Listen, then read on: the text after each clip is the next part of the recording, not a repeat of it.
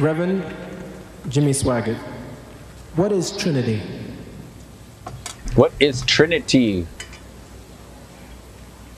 We believe the Word of God teaches that there is one God, not 2, 5, 10, 12, 15, one God, manifest in three persons, three different personalities.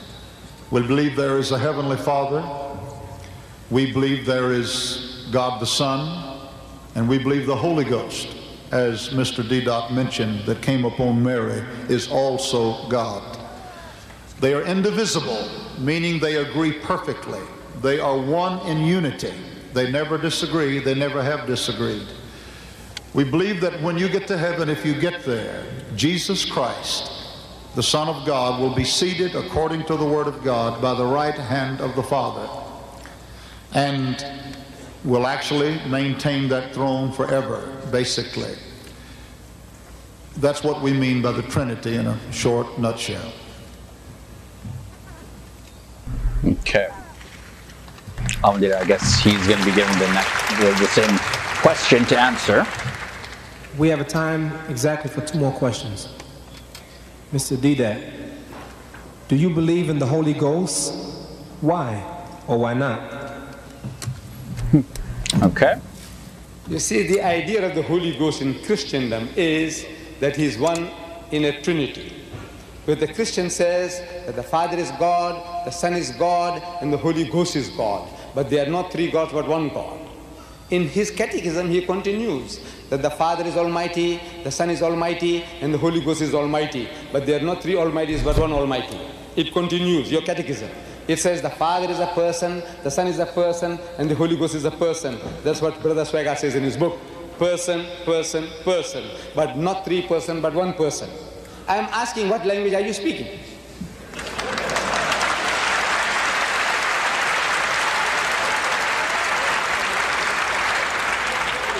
I'm asking, is that English? By God, it is gibberish, it's not English. You see, you say person, person, person, but not three person, but one person. I said, Brother Swaggart, you and your two other brothers, let's say you are three identical triplets. And we can't make the difference out between the three of you. They're all identical. We can't make out the difference. If one of you commit murder, can we hang the other? You say no.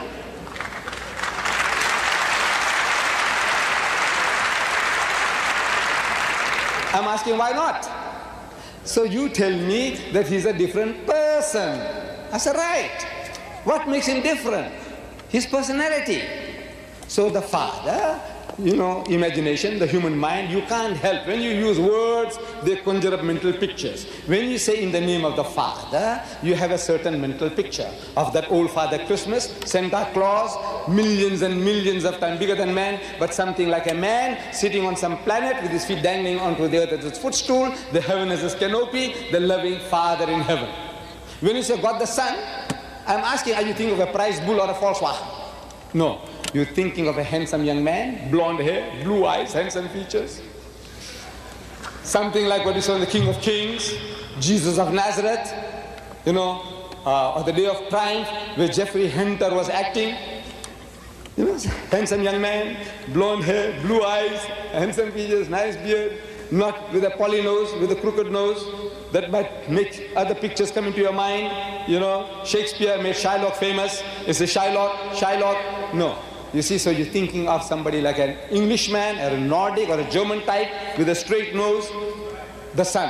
And the Holy Ghost, something that came like a dove when Jesus was baptized in the river Jordan by John the Baptist, or something that came in flames of fire at Pentecost. I said the picture is not very vivid, but the picture is there. You have three distinct mental pictures, and howsoever hard you try, you can never superimpose those three pictures and create one. There'll ever be three in your mind.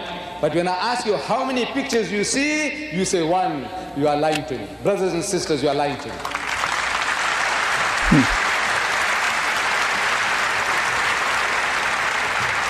Actually, we have about three minutes.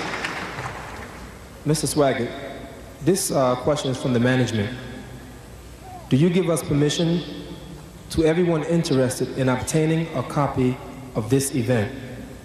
Um, number one. Number two, why didn't you allow televising this event?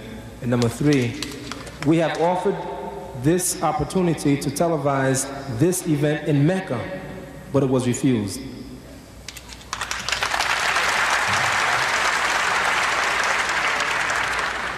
Shame on you, you did misquote me. I did not say that God is a person, the Son is a person, the Holy Ghost is a person, and they are one person. I didn't say that. I said there is one God, not one person. Um, it seems to me they're televising it. I see one, two, three, four, five cameras. You said they're not televising it? They're televising it, aren't they? I'm, I'm a little confused. I don't understand. Do you give us permission uh, for everyone interested in obtaining a copy of, of this event video? Yes, we will certainly do that, providing that you do not edit the tapes. Okay. You see, I know a little bit about television, and you can make anyone say just about anything you want them to say by chopping it up. We are experts at that, Mr. D. Datton. And uh, I would trust this man. Are you looking at me, sir? I trust you. But I don't trust the whole world that I do not see. And we ask to sign a statement if you wanted to televise it and take it with you, do whatever you want to do with it, providing that you tell us where you are going to edit it and how you're going to cut it up. I think that's only fair. We would not want to take anything he said and chop it up and make him to seem to say something that he did not say. That wouldn't be right nor fair. And I think that we've been just about as Christian as anyone could ever be with it. Okay, so very interesting video. Uh, some of the points that came up were uh, Jimmy Swaggart. Uh, he was explaining the idea of the Trinity, kind of just uh, breaking it down. Uh, that there is just the, the you know the one God and uh, manifests into three persons, three distinct personalities, but still agree as the one God. Ahmed Deedat counters, well, in his question anyways, he was asked if he believed in the Holy Spirit. And um, I think his answer was saying that he doesn't believe it in the Christian way of some person that is also God, because um, Muslims just believe in the the oneness of God. And if you say, well, this God is into three and everything, when you compare it to, let's say, triplets, for instance, um, you, you know that there are three different persons. So how can one person be three persons? So the argument for the Trinity that was made, it's a pretty standard one that I've uh, I've heard uh, from other speakers as well too. That you know there is the one God, but God is able to manifest Himself into three distinct uh, persons, and are always in agreement of exactly what each of the other members of the Godhead are are doing. I think I've come to the conclusion, or I'm coming to the conclusion, the more and more and more I see videos like this and hear the different um, arguments that are, are are used, that if somebody believes something, no matter what it is, it will make sense to them. How their brain put it together, it just makes sense.